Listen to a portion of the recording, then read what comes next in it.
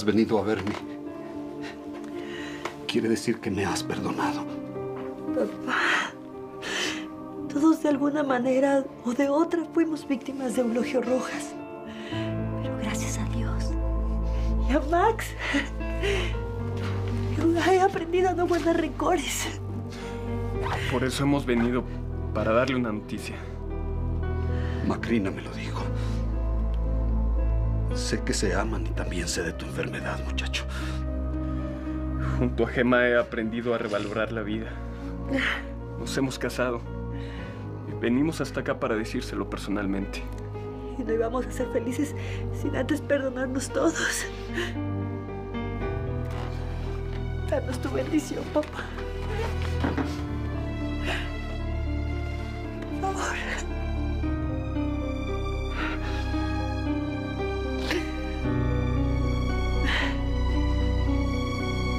Entiende que Federico nunca me ha amado. Ay, por favor, madrina.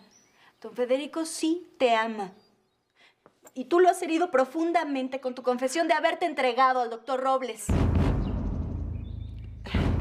¿Se atrevió Federico a decirte eso?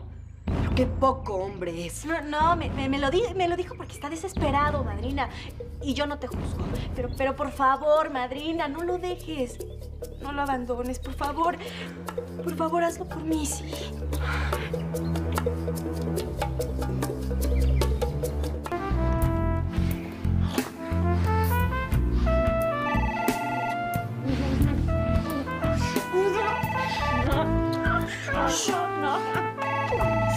Bueno, Vaya, ayer cuando te conocí tenías un tono de voz más amable. ¿Acaso soy inoportuna? Soy Damiana Federico. ¿Te acuerdas de mí? discúlpame si fui poco amable al contestar el teléfono. Pero es que las cosas no andan del todo bien por acá. Qué extraño. Cuando te conocí me pareciste un hombre que tiene absoluto control de su vida. Y así es. Entonces pronto encontrarás solución a tus problemas y hasta podrías venir a la Ciudad de México. Podría ser. Piénsalo. Siempre hay algún pretexto que se puede inventar y estoy segura que la pasaríamos muy bien.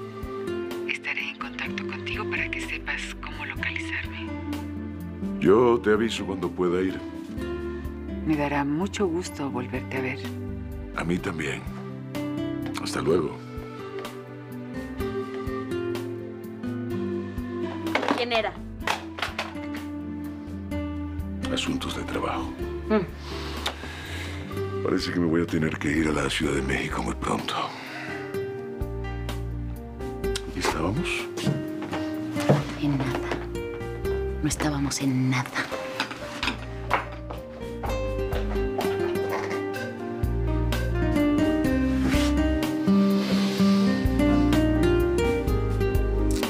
Damiana. Pues en el hospital dicen que Raquela no tiene ninguna enfermedad. Al menos ya se descartó algún daño cerebral. Solo nos queda el recurso de la oración. Esperar a que la presencia de la Santa Cruz logre nulificar el poder del mal. Y si Raquela no reacciona, ¿qué sigue, padre?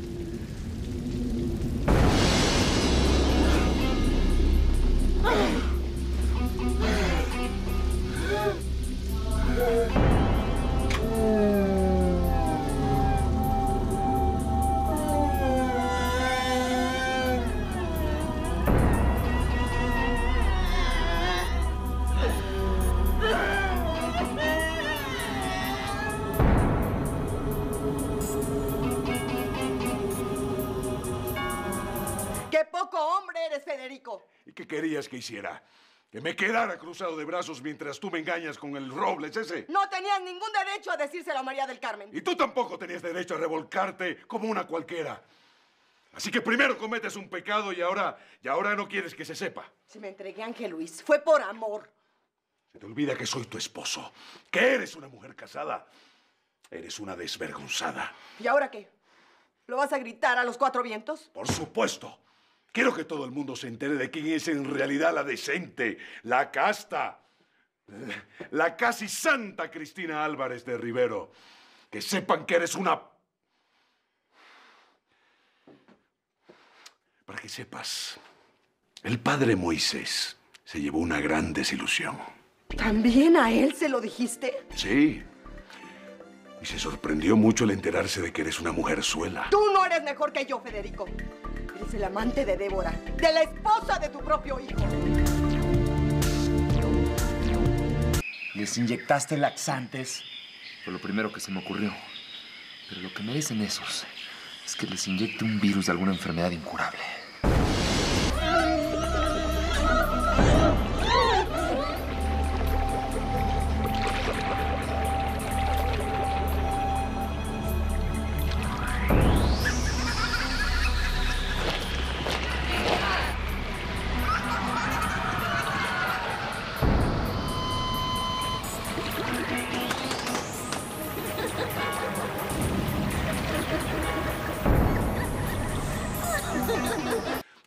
Se te ocurre decir eso? ¿Acaso nos viste?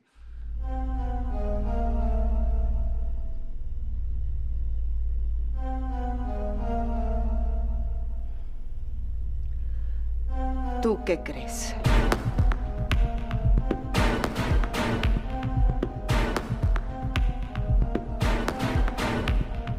No sé cómo se te puede ocurrir semejante cosa. Tú perfectamente sabes que no veo.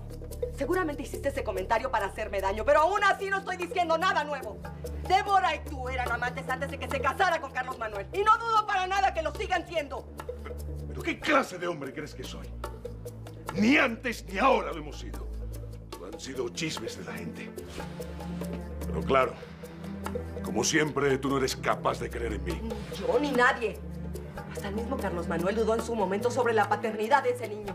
Pero quedó bien demostrado con los análisis genéticos que él es el padre. Carlos Manuel se dejó llevar por los estúpidos anónimos que mandó Raquela. Después se dio cuenta que no podía darle más crédito a un chisme de sirvientas que a mí me pidió perdón. Tú siempre tan hábil, volteando las cosas a tu conveniencia. Siempre te has manejado con poses y falsas caretas. Pero conmigo se acabó, ya te lo dije. Quiero el divorcio y lo quiero cuanto antes. Eso jamás lo tendrás. Jamás podrás divorciarte de mí. Por favor, Federico.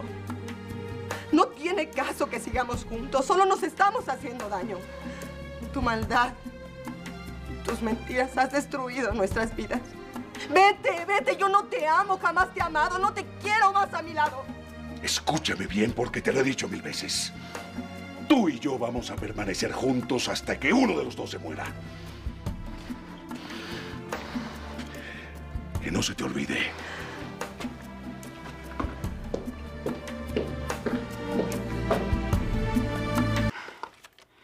Damiana, por favor, tienes que regresar ya a tu casa. Graco me acosa. Tu marido me hace mil preguntas que a veces yo no sé contestar y Nicolás siempre está mirándome fijamente como si sospechara algo. Figuraciones tuyas. Somos idénticas. ¿Por qué habría de sospechar? Por favor, Damiana, debes regresar a tu casa. No puedes vivir así. Siempre eludiendo tus obligaciones y tomando solo los derechos. No es normal. No está bien. ¿Eres tú quien viene a decirme qué cosa es normal después de que estuviste internada en aquel sanatorio para enfermos mentales? No quiero hablar sobre eso. Ya pertenece al pasado, ocurrió hace muchos años y, y ya estoy bien. ¿Estás segura? Damiana, por favor. ¿Te acuerdas cuando mataste a aquel hombre? No, no me acuerdo. No me quiero acordar. Lo mataste a sangre fría. ¿Y quién te ayudó para que no fueras a la cárcel? Yo. Damiana, ya no me atormentes. Ahora vas a oírme hasta el final. Tú lo y no fue el único. Asesinaste varias veces y fui yo quien siempre te cubrió para que no te encerraran. Así que presta atención. Si no sigues cumpliendo mis órdenes, le diré a la policía que eres una asesina y hasta le mostraré dónde están enterradas tus víctimas. Ya lo sabes, Juliana. Si no quieres terminar tus días en la cárcel, cumple mis órdenes sin replicar.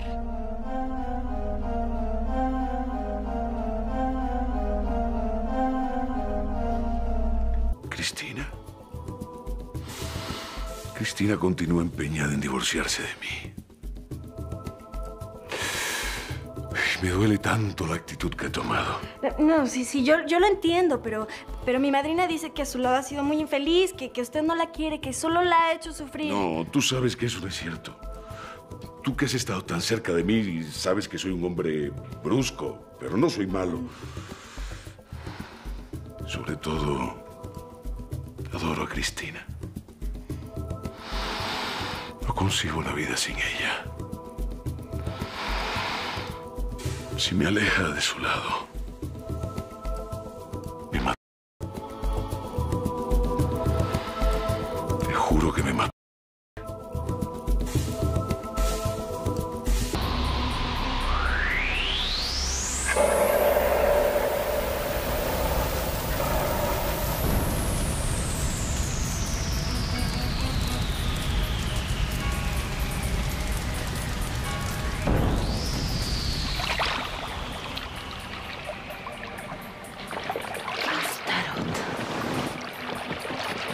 Lucifer. Luzbel. Palabra. Señor de las tinieblas.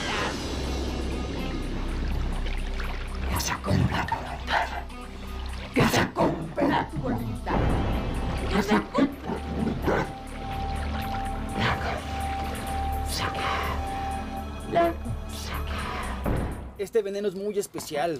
Mm, No lo recomendamos seguido para uso doméstico porque es muy fuerte. Me imagino que debes de guardar registros de venta de este producto. Claro que sí, precisamente por lo peligroso que es este veneno. ¿Puedo ver los registros? ¿Cómo no? Eh, enseguida le traigo el libro de registros. No me tardo. Pásalo. ¿Qué nos vas a hacer?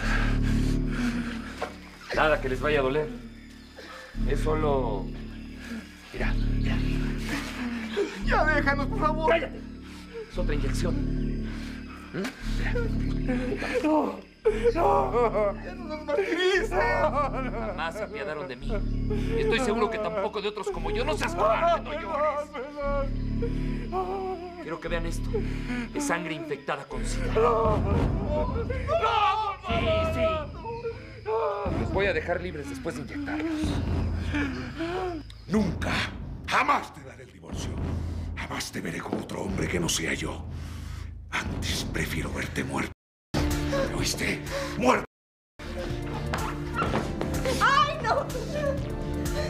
Es miedo, ¿verdad? Si yo quisiera, ahorita mismo podría acabar con tu vida.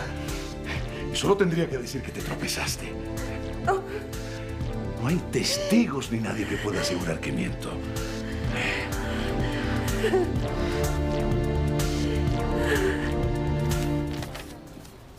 Ok, ya me pagó. Aquí está. Mira, ese envío de raticida lo mandaste a la hacienda El Platanal. Federico, por favor. Ganas de lanzarte. No te atreverías. Lo siento, Cristina. Si insistes en divorciarte de mí, tienes que sufrir las consecuencias. ¿Recuerdas que yo te lo advertí? ¡Ah!